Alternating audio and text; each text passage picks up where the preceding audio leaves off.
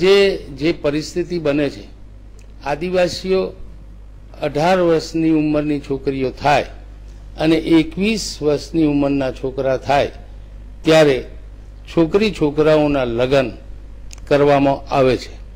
પરંતુ કેટલીક જગ્યાએ બને છે એવું કે જુવાન દીકરી એ અઢાર વર્ષની નહીં હોય, ચૌદથી સોળ સત્તર વર્ષની દીકરીને એ ગામનો જ બાજુમાં રહેતો દીકરો જેની જોઈને ઉપાડી જાય, લગ્ન કરવાની લાલચ આપીને લગ્ન નહીં કરે અને એને ઉપાડી જાય, તો ગામના આગેવાનો, સરપંચ, માજી પોલીસ પટેલ, અગર ગામના તમામ છોકરા છોકરી ના તમામ સંબંધીઓ ભેગા થઈને એક જબરજસ્ત મોટી શિક્ષા, છોકરી અને છોકરા જે ઉપાડી જાય એ બંને પંચો પંચો મારફતે બંને કોમને દંડ કરીને જબરજસ્ત મોટી રકમ પણ લેવામાં આવે છે.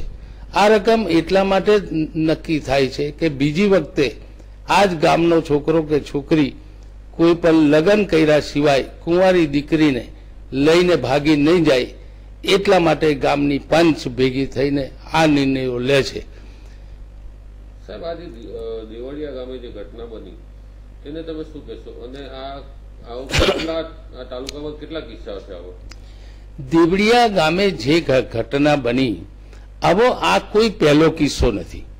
અત્યારે જેતપુર પાવી તાલુકાના કુંડલ ગામે એક છોકરો એક છોકરી ભણતી હતી. એ ભણતી છોકરીને પ્રેમમાં પડીને આ બીજાનો દીકરો એ છોકરીને ઉપાડી ગયા. એવો જ બીજો કિસ્સો સિલોજ ગામ છોટાઉદેપુર તાલુકાનું સિલોજ ગામ છે. એ સિલોજ ગામની પણ એક દીકરી ધોરણ બારમાં બનતી હતી, તેજગઢ હાઈસ્કૂલમાં. એને પણ આ દીકરો સિલોજ ગામનો જ બાજુના ઘરનો એને લઈને ભાગી ગયા. આવા કિસ્સાઓ એક નથી.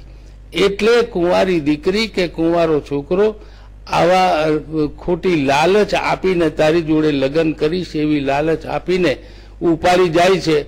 એટલા માટે ગામની પંચ ભેગી થઈને નિર્ણય કરે કે છોકરીને પાંચ હજાર કે દસ હજારનો દંડ કોઈ પચાસ હજારનો દંડ, એવી રીતે છોકરાને છોકરીને દંડ કરીને એ છૂટા પાડવામાં આવે છે. અમારો જે કિસ્સો મેં કીધું કે બોરકંડા ગામે એક કિસ્સો એવો બન્યો, એક દીકરીને લઈને ભાગી ગયા, એનો દંડ કર્યો પંચે ત્રણ લાખ રૂપિયા. એટલે આ કોઈ નવો કિસ્સો નથી. એટલે દેવલિયામાં જે સરપંચે જે કાર્યવાહી, તમામ આગેવાનો ભેગા થઈને જે કાર્યવાહી કરી, એ કાર્યવાહી બિલકુલ વ્યાજબી છે અને આવી રીતે બીજી વખત કોઈની દીકરી લઈને કોઈ ભાગી ન જાય એ બી કરે એટલા માટે આ કાયદો સરકારનો કાયદો નથી, પણ આ સમાજનો કાયદો છે કે કોઈની દીકરી કે કોઈનો દીકરો મહેરબાની કરીને કોઈની દીકરીને બગાડી ન જાય. કારણ કે આખરે એટલા માટે કે એકવીસ અઢાર વર્ષની વયે લગ્ન કરવું એ ગુજરાત સરકારનો કાયદો છે જ. એ કાયદાનું પાલન સૌ કોઈ સમાજ કરે એની પાછળનો આટલો જ હેતુ છે. આમાં તો એટલી જ બાબત છે કે દેવલિયામાં જે કોઈ બીના બની છે.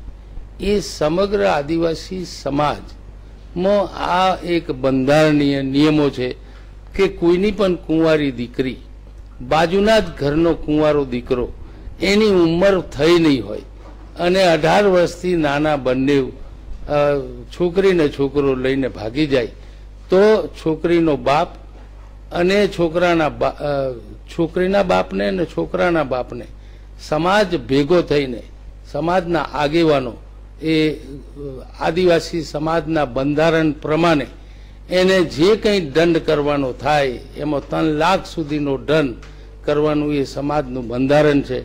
તે પ્રમાણે દેવલિયામાં જે કંઈ કાર્ય બન્યું છે, સરપંચે અને ગામના આગેવાનોએ જે કૃત્ય કર્યું છે, એ બિનકાયદેસરનું કૃત્ય નથી. બીજી વખતે કોઈની દીકરીને કોઈ ઉપાડી ન જાય અને એટલા માટે લોકોને બી કરે અને લોકો ગભરાયેલા રહે એટલા માટે આ જે ડન કર્યો છે એ બિલકુલ વ્યાજબી છે અને ગેરકાયદેસર કોઈ પણ કૃત્ય ન કરે એટલા માટે ધાક લોકોને બેસે એટલા માટે આ કૃત્ય સરપંચે કર્યું છે તે બિલકુલ વ્યાજબી છે.